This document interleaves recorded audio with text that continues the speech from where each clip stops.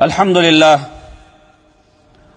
الحمد لله نحمده ونستعينه ونؤمن به ونتوكل عليه ونعوذ بالله من شرور أنفسنا ومن سيئات أعمالنا.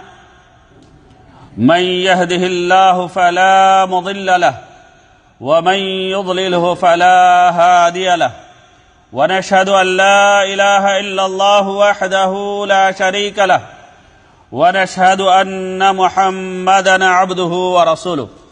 أرسله بالحق بشيرا ونظيرا وداعيا إلى الله بإذنه وسراجا منيرا. أما بعد قال الله عز وجل في القرآن المجيد أعوذ بالله من الشيطان الرجيم. بسم الله الرحمن الرحيم. يا ايها الذين امنوا اتقوا الله حق تقاته ولا تموتن الا وانتم مسلمون ప్రశంసలు పొగడ్తలు సర్వలోకాలకు ప్రభు అయిన అల్లాహ్ సుబానహతాలాకి అంకితం అల్లాహ్ కృపానుగ్రహాలు మహాప్రవక్త ముహమ్మద్ సల్లల్లాహు అలీహి వాలిహి వసల్లంపై ఆయనకు పూర్వం గతించిన ప్రవక్తలందరిపై సుజనులపై సత్యాన్వేషకులపై కలకాలం కురియుగాక.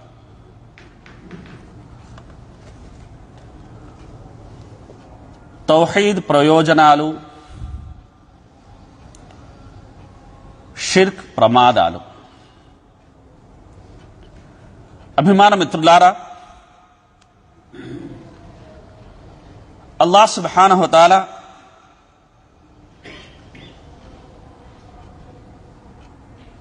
కాలానికి అనుగుణంగా అనేక గ్రంథాలను అవతరింపజేశాడు. సమయం సందర్భాన్ని బట్టి ఒక లక్ష ఇరవై నాలుగు వేల మంది ప్రవక్తల్ని ప్రభవింపజేశాడు.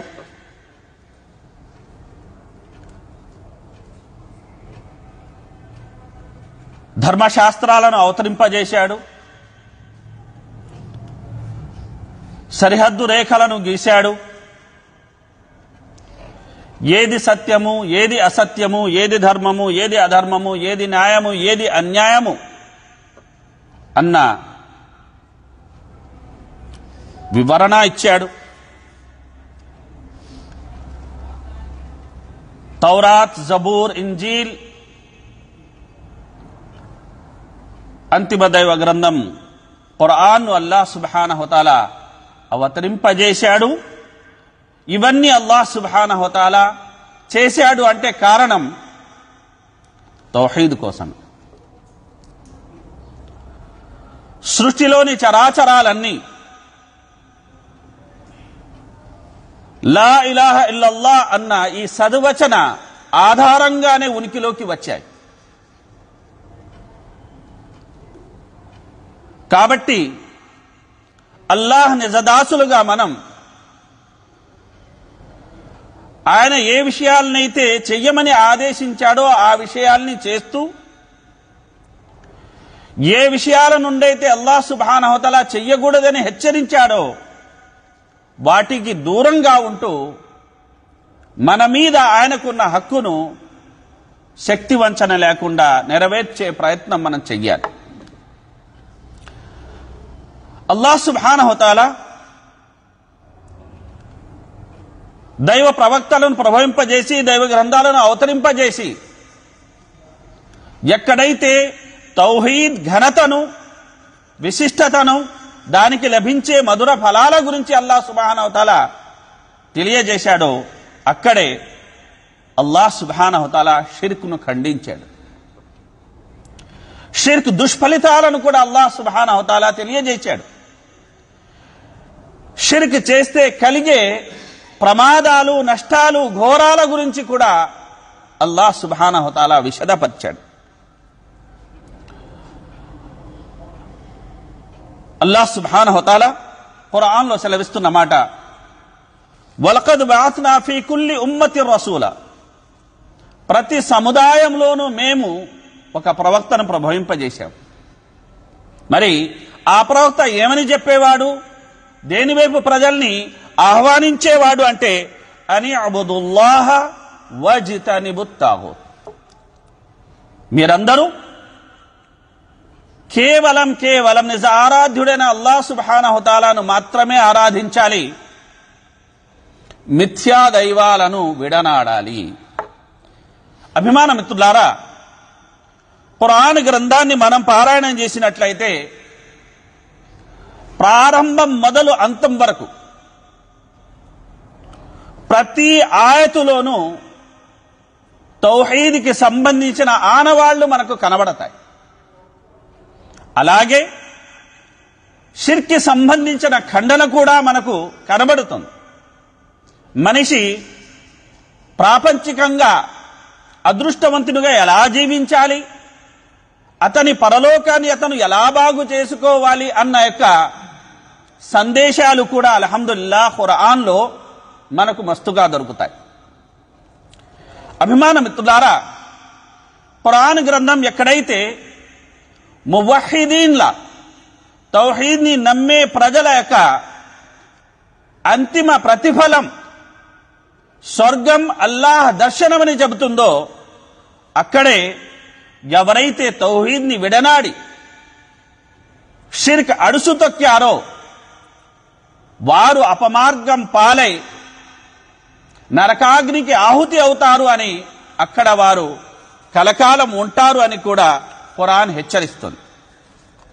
అభిమాన మిత్రులారా తౌహీద్ వల్ల కలిగే ప్రయోజనాలు షిర్క్ వల్ల చోటు చేసుకునే ప్రమాదాలు. అందులో ప్రథమమైనది ఏమిటంటే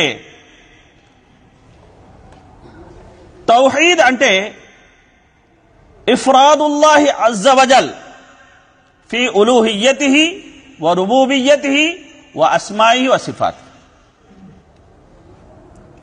అల్లాహ్ సుబ్హానహు హోతాలాను నిజ దైవంగా నమ్మే విషయంలో ఆరాధ్యునిగా నమ్మే విషయంలో పరిపాలకునిగా సంరక్షకునిగా సృష్టికర్తగా విశ్వసించే విషయంలో ఆయన గుణ విశేషాల విషయంలో ఆయన్ను ఏకైక దైవంగా విశ్వసించడమే తౌహీద్.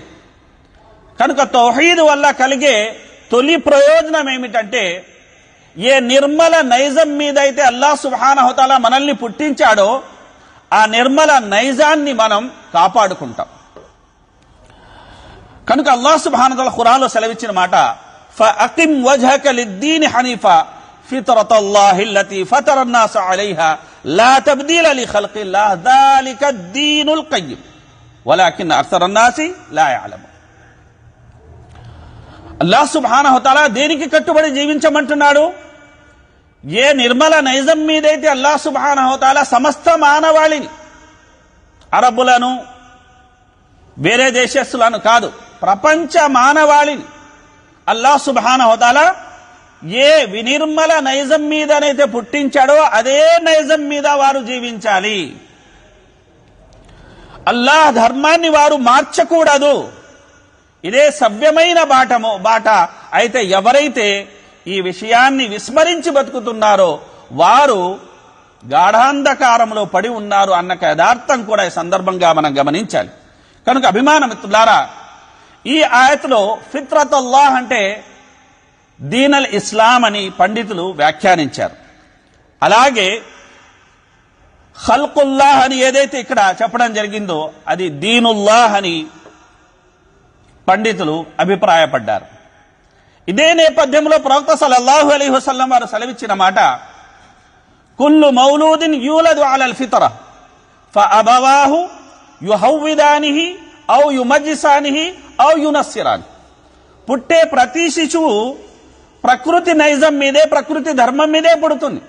అయితే ఆ శిశువు తల్లిదండ్రులు ముఖ్యంగా మానవ జాతికి చెందిన జిన్ను జాతికి చెందిన యొక్క తల్లిదండ్రులు వీరేం చేస్తారంటే ఆ శిశువుని ఒకవేళ వారు యూదులైతే యూదునిగా మార్చేస్తారు అగ్గి పుజారులు మజూసి అయితే మజూసిగా మార్చేస్తారు క్రైస్తవులైతే క్రైస్తవులుగా మార్చేస్తారు. ఇక ప్రవక్త సలల్లాహు అలీ వసల్లం ప్రస్తావించని మరో అతి పెద్ద యొక్క మతధర్మం ఏమిటి ఇక్కడ? అదే ఫిత్రత్ అల్లాహ్ అదే ఇస్లాం. కనుక దీని ఉపమానం ఎలాంటిది అంటే అభిమాన మిత్రులారా గమనించండి.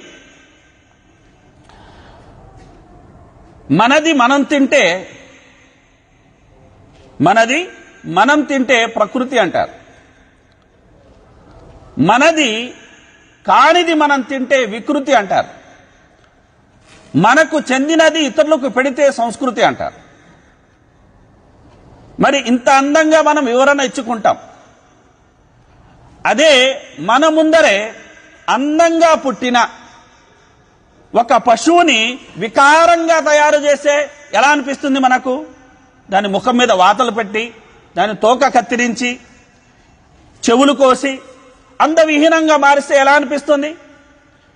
ఎలాగైతే ఒక శిశువు ఎలాంటి లే- లోపం లేకుండా పుడుతుందో ఆ తర్వాత దానికి వాతలు పెట్టడము తోక కత్తిరించడము చెవులు కోయడం అనేది జరుగుతుందో మానవానికి సంబంధించిన ప్రతి శిశువు ఇంతే అందంగా పుడుతుంది. అయితే భావరీత్యా విశ్వాసం రీత్యా ఆ యొక్క శిశువుని ఆయా తల్లిదండ్రులు అందవిహీనంగా తయారు చేస్తారు. కనుక వారు పుట్టిన నైజం మీద ఉండరు. కాబట్టి అల్హమ్దుల్లా ఎవరైతే తౌహీద్కి కట్టుబడి జీవిస్తారో వారు నిర్మల నైజం మీద వారు నిలకడగా ఉంటారు.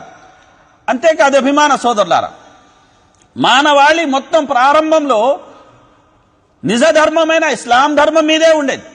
అయితే మానవులకు చెందిన కొందరు శైతాన్ స్వభావాలు అలాగే జిన్ను జాతికి చెందిన శైతానులు ఇరువురు కలిసి మనిషిని మార్గం తప్పించడం జరిగింది అన్న యొక్క యథార్థాన్ని కూడా ప్రవక్త మహమ్మద్ సల్లల్లాహు అలీహి వసల్లం వారు తన ప్రవచనంతో తెలియజేసి ఉన్నారు.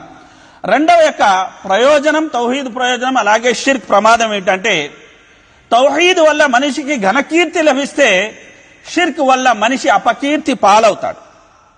కనుక అల్లాహ్ సుబ్హానహు ఖురాన్లో సెలవిస్తున్నమాట మన్ కాన యురీదుల ఇజ్జత ఫలిల్లాహిల్ ఇజ్జతు జమీ జమియా.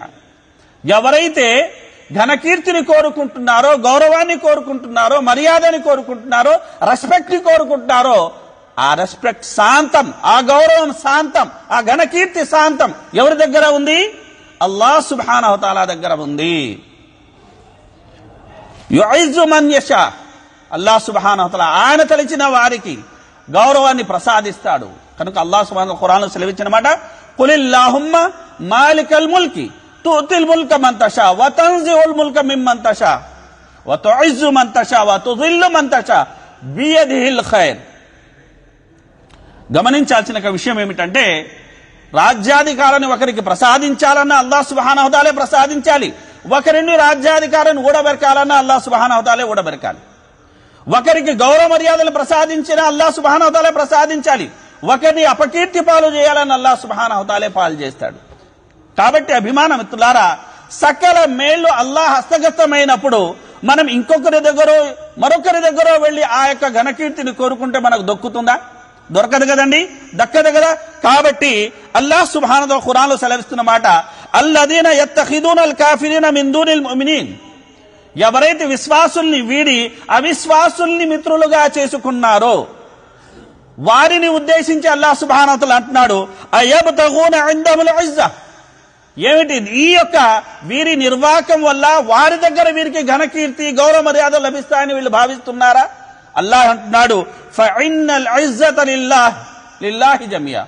నిశ్చయంగా గౌరవం అనేది ఘనకీర్తి అనేది శాంతం అల్లా సుభానతాలకు సంబంధించినది. కనుక అభిమాన మిత్రులారా మనం అల్లా సుభానహతాల సమక్షంలో చేసే ఆ ఒక్క సజ్దా వేల కోట్ల యొక్క సజ్జాల నుండి మనల్ని కాపాడుతుంది. దరి దరికెళ్ళి మన యొక్క నుదురిని మనం ఆంచాల్సిన ఆ దురవస్థ అనేది ఏర్పడకుండా ఆ ఒక్క సజ్దా అనేది మనల్ని కాపాడుతుంది అన్న ఒక విషయాన్ని మనం ఈ సందర్భంగా గమనించాలి. అల్లాహ్ సుబానహతాల తౌహీద్ ద్వారా కీర్తి శిఖరాల మీద కూర్చోబెట్టాలని ఆయన అభిలషిస్తుంటే మనం మన నిర్వాకాల ద్వారా ఆ కీర్తిని కాస్త అపకీర్తి పాలు చేసుకుంటున్నాం. కనుక మనం ఆలోచించాలి. ఇక తౌహీద్ వల్ల కలిగే మూడో యొక్క ప్రయోజనం అలాగే షిర్క్ వల్ల కలిగే మూడో ప్రమాదం ఏమిటంటే అభిమానమిత్రులారా తౌహీద్ వల్ల మనిషికి అనేది సౌఖ్యత ప్రశాంతత అనేది లభిస్తుంది. అదే షిర్క్ వల్ల మనిషికి ఆందోళన మనము మరియు దుఃఖం అనేది అధికమవుతుంది. కనుక అభిమానమిత్రులారా గమనించాల్సిన ఒక విషయం ఏమిటంటే ఒక తౌహీద్ని నమ్మే వ్యక్తి తనకు సంబంధించిన సకల విషయాల్ని ఎవరికి అప్పగిస్తాడు? కుల్ ఇన్న సలాతి వనుసుకి వమహయాయ వమమాతి లిల్లాహి రబ్బిల్ ఆలమి లా షరీక లహు. బిదాలిక అన అవ్వలుల్ తన సకల వ్యవహారాలను ఉపాసనా రీతులను అల్లాహ్కి మాత్రమే అంకితం చేస్తాడు. అయితే ఎవరైతే తౌహీద్ని నమ్మరో ఎవరికి అంకితం చేస్తారండి? ఈ రోజు ఒకరు మరొక రోజు ఒకరు వారానికి ఒకరు నెలకొకరు తేదీలు మారే కొద్దీ దైవాలు మారుతాయి దేశాలు మారే కొద్దీ అనేది దైవాలు మారుతాయి. గమనించాల్సిన ఒక విషయం ఏంటంటే ఈ బానిసత్వానికి అంతం అనేది లేదు. కనుక భయంకరమైన ఈ బానిసత్వం నుండి మనిషిని కాపాడేది ఏదంటే నిజ ఆరాధ్యునైన అల్లాహ్ సుబ్హానహు యొక్క నిజమైన దాస్యం అనే విషయాన్ని మనం ఈ సందర్భంగా గమనించాలి. అలాగే అల్లాహ్ సుబ్హానహు ఇస్తున్న ఉపమానాన్ని కూడా మనం దృష్టిలో పెట్టుకోవాలి. అల్లాహ్ సుబ్హానహు తాలా ఖురాన్ సెలవిస్తున్న మాట దరబల్లాహు రజులన్ ఫీ షురక ముతషాకిసున్. ఒక వ్యక్తి ఉన్నాడు అతనికి అనేక మంది యజమానులు ఉన్నాడు. ఒక్కో యజమాని ఒక్కో సైకో లాంటి వాడు. ప్రతి ఒక్కడి యొక్క మనస్తత్వం అనేది వేరు. ఒకే వ్యక్తి పని చేసేవాడు అనేక మంది యజమానులను అతని పరిస్థితి ఎలా ఉంటుందండి? గమనించండి. మరి ఇంకో వ్యక్తి ఉన్నాడు అతనికి ఒకే ఒక్క యజమాని అయితే చాలా మంచోడు. ఎవరు ప్రశాంతంగా ఉంటారు? ఎవరు దుఃఖం లేకుండా ఉంటారు? ఎవరు ఆనందంగా ఉంటారు? ఎవరు నెమ్మదిగా ఉంటారు? ఎవరు నిమ్మళంగా ఉంటారు? మంచి యజమాని ఒకే యజమాని అయిన వ్యక్తే కదా? అవును కదండి? కనుక అల్లాహ్ అంటున్నా అల్హమ్దుల్లా ఇది మనిషి నైజం చెప్పే సాక్ష్యం. కాబట్టి మనం యూసుఫ్ అలైహిస్సలాం వారి మాటను ఇక్కడ నెమరు వేసుకోవాలి. ఆరుబాము ముతఫరికున ఖైరం అమిల్లాహుల్ వాహిదుల్ కహార్ ఒక్కడు సర్వశక్తిమంతుడైన అల్లాహ్ సుబ్హానహు మేళ లేదంటే చెల్లా చెదురుగా పడి ఉన్న చిల్లర దైవాలు మేళ కనుక అభిమాన మిత్రులారా ఇది మనం గమనించాల్సిన ఒక విషయం. అలాగే ఎవరైతే మిథ్యా దైవాల్ని ఆశ్రయిస్తారో వారికి ప్రశాంతత అనేది లభించదు. ఎందుకు అల్లా సుబాంధుల ఖురాన్లో సెలవిస్తున్నమాట ఒమన్ అరద జిక్రి ఫఇన్న అతని జీవితం దుర్భరమై ఉంటుంది. మరి ప్రశాంతత ఎవరికి లభిస్తుంది? అలాబి బిదిక్రిల్లాహి తత్మైనుల్ ఎవరైతే అల్లాహ్ను స్మరించుకుంటారో వారికే. ఇక నాలుగో యొక్క తౌహీద్ ప్రయోజనం మరియు షిర్క్ యొక్క ప్రమాదం గురించి మనం తీసుకున్నట్లయితే తౌహీద్ వల్ల మంచి సాంప్రదాయం అనేది ఉనికిలోకి వస్తుంది. షిర్క్ వల్ల విష కృతి అనేది విష సంస్కృతి అనేది చోటు చేసుకుంటుంది. కనుక అభిమానమిత్రులారా తాయెత్తులను నమ్మడం గాని అలాగే అధర్మ యొక్క రీతిలో ఊదే యొక్క కార్యక్రమాలు గాని చేతబడి గాని అలాగే ఒకరిని వశపరుచుకోవాలని చేసే ప్రయత్నాలు గాని ఇవన్నీ దేని మూలంగా చోటు చేసుకుంటాయి? షిర్క్ మూలంగా చోటు చేసుకుంటాయి. బిదఅత్ గాని సమాధుల యొక్క దర్శనం అలాగే సమాధుల యొక్క ఆ దర్శనములు ముఖ్యంగా దర్శనం ఉద్దేశం కాకుండా ఆరాధన ఉద్దేశంతో ఎవరైతే వెళ్తారో ఇవి గాని ఇవన్నీ దేని మూలంగా చోటు చేసుకుంటాయి? తౌహీద్ లేని కారణంగా చోటు చేసుకుంటాయి. కనుక అపనమ్మకాలు అపనమ్మకాలకు కేంద్రం అనేది షిర్కు మంచి నమ్మకాలకు నెలవు ఏదంటే తౌహీద్ అన్న ఒక విషయాన్ని మనం ఈ సందర్భంగా గమనించాలి. ఇక అభిమాన మిత్రులారా ఐదవ యొక్క ప్రయోజనాన్ని మనం తీసుకున్నట్లయితే తౌహీద్ వల్ల రక్షణ లభిస్తుంది షిర్క్ వల్ల అనేది భయం పట్టుకుంటుంది. కనుక అల్లాహ్ సుబానంతల ఖురాన్లో సెలవిస్తున్న మాట నేను వివరాల్లోకి వెళ్ళడం లేదు. అల్లాహ్ సుబానహతల ఖురాన్లో సెలవిస్తున్న మాట ఏమిటంటే వల యుబద్దిలన్నహుం మింబాది ఖోఫిం అమ్నా యఅబుదూనని వలా ఇషుకున బీషయ గమనించండి నేను వారి భయానక స్థితిని ప్రశాంత స్థితిగా మారుస్తానని అల్లాహ్ సుబాహతలు అంటున్నాడు. అయితే ఎప్పుడు జరుగుతుంది అభి అది సోదరులారా అల్లాహ్ సుబానహతల సెలవిస్తున్న మాట ఏమిటంటే వారు నన్ను మాత్రమే ఆరాధించాలి తౌహీద్కి కట్టుబడాలి. నాతో పాటు అన్యులను సహవర్తులుగా సమానులుగా చేసి కొలవకూడదు. ఒకవేళ కొలిస్తే ఏమవుతుంది? రక్షణ కరువవుతుంది. భయ భయంకరమైన యొక్క వాతావరణం అనేది నెలకొంటుంది అని అల్లాహ్ సుబానవతాల సెలవిస్తున్నాడు అలాగే అభిమాన సోదరులారా ఆరవ యొక్క సత్ఫలితము మరియు దుష్ఫలితం. ఏది అన్న విషయాన్ని మనం తీసుకున్నట్లయితే సత్కర్మలకు తౌహీద్ పరునికి సత్ఫలితాలు లభిస్తే అదే ముష్రిక్ సత్ కర్మలు చేసినా అతనికి సత్ఫలితం అనేది లభించదు కనుక అల్లాహ్ సుబ్హానహు ఖురాన్ లో సెలవిస్తున్న మాట قل هل ننبئكم بالاخسرين اعمالا الذين ضل سعيهم في الحياه الدنيا وهم يحسبون انهم يحسنون صنعا కర్మల పరంగా ఘోరంగా నష్టపోయిన వారు ఎవరో నేను మీకు తెలియజేయనా ఎవరైతే ప్రాపంచికంగా పనికి మానిన యొక్క వ్యవహారాలు తలబెడుతూ మేము చాలా మంచి పని చేస్తున్నామని భ్రాంతిలో బతికారో షిర్క్ యొక్క అడుసు ఎవరైతే తొక్కారో వారు అని అల్లా సుబానవతల సెలవీయడం జరిగింది. అదే విధంగా మరో చోట అల్లా సుబానవతల సెలవిచ్చిన మాట ల ఇన్ అష్రక్త లయహబతన్న అమలు నువ్వు చేసిన కార్యం ఎంత ఘనాపాటిదైనా సరే షిర్క్ ఉంటే దాన్ని అల్లాహ్ సుబానతల అంగీకరించడు. కనుక అబ్దుల్లాహ్ బిన్ జుదాన్ రది బిన్ జుదాన్ గురించి విశ్వాసుల మాత హజరత్ ఐషా రది అల్లాహు అనహా గారు ప్రవక్త సలాసం వారిని అడిగారు.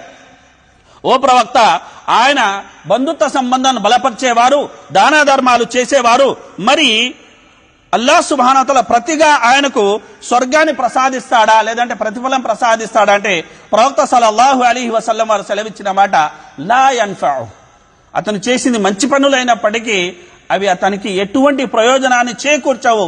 ఎందుకంటే ఇన్నహు లం యకుల్ యోమన్ రబ్బి ఫిర్లీ ఖతీ అతి యోమద్దీన్.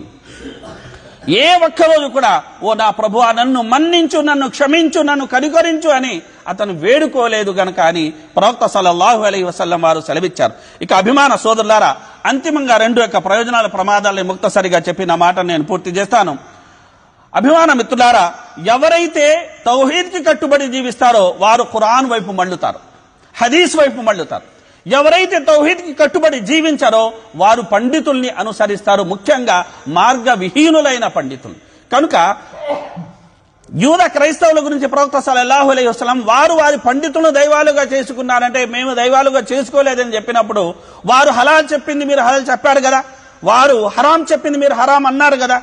అంటే అన్న అనేవారం అంటే అదే వారిని దైవంగా చేసుకోవడమని ప్రవక్త సలల్లాహు అలైస్లం వారు సెలవిచ్చారు. కనుక ఖురాన్ హదీస్కి అనుగుణంగా జీవించేవారు మువహిదీన్లు అయితే దాన్ని వీడి ఇష్టారాజ్యాన్ని కొనసాగించే వారు మార్గం తప్పిన వారుగా మనం తీసుకోవాల్సి ఉంటుంది. ఇక అభిమాన మిత్రులారా చివరి యొక్క అంశంగా మన మాటను మనం పూర్తి చేసుకుంది. అదేమిటంటే ప్రపంచంలోని అత్యద్భుతమైన న్యాయం ఏమిటంటే తౌహీద్. ప్రపంచంలోనే అత్యంత నీచమైన దౌర్జన్యం ఏమిటంటే షిర్క్. ఎందుకంటే ఈ యావత్ ప్రపంచాన్ని సృష్టించేవాడు అల్లాహ్ సుహానవతల ఆయన చెప్పినట్టు నడుచుకోవడమే కదండి న్యాయము? మరి ఆయన్నే విశ్వసించి ఈ సృష్టి శాంతాన్ని కొలిస్తే దానికి మించిన దౌర్భాగ్యము దౌర్జన్యం ఏం కాగలదు? కనుక లుక్మాన్ అలీ ఇస్లాం తన తనయుణ్ణి హితవు చేస్తూ చెప్పిన మాట ఏమిటంటే యా బునయ్యల్లా తుషిక్ బిల్లా. బాబు నువ్వు అల్లాహతో పాటు అన్యులను సహవర్తులుగా చేసి కొలవకు. ఇన్న షిర్క నిశ్చయంగా షిర్క్ అది మహాభయంకరమైనటి పాపము నేరము. కనుక అభిమాన మిత్రులారా ఈ విషయాలైతే మన మన యొక్క ప్రస్తావన నేడు వచ్చాయో ఈ విషయాల్ని మరింత లోతుగా అధ్యయనం చేసి తెలుసుకొని స్వయంగా మనం అనేది వాటిని ఆచరణలో పెట్టడమే కాకుండా తెలియని ప్రజల వరకు కూడా తెలియజేసే ప్రయత్నం మనం చెయ్యాలి. అలా చేసే అల్లాహ్ సుబానహత అందరినీ దీవించాలని కోరుతూ నా మాట నేను పూర్తి చేస్తున్నాను. ఆమీన్. బారక్ అల్లాహ్ బారక్ అల్లాహ్ లానా వలకం ఫిల్ ఖురాన్ హకీం వనఫాని వయ్యాకుం బిల్ ఆయాతి వద్దిక్రిల్ హకీం ఇన్నహు తాలా గఫూరుర్ రహీం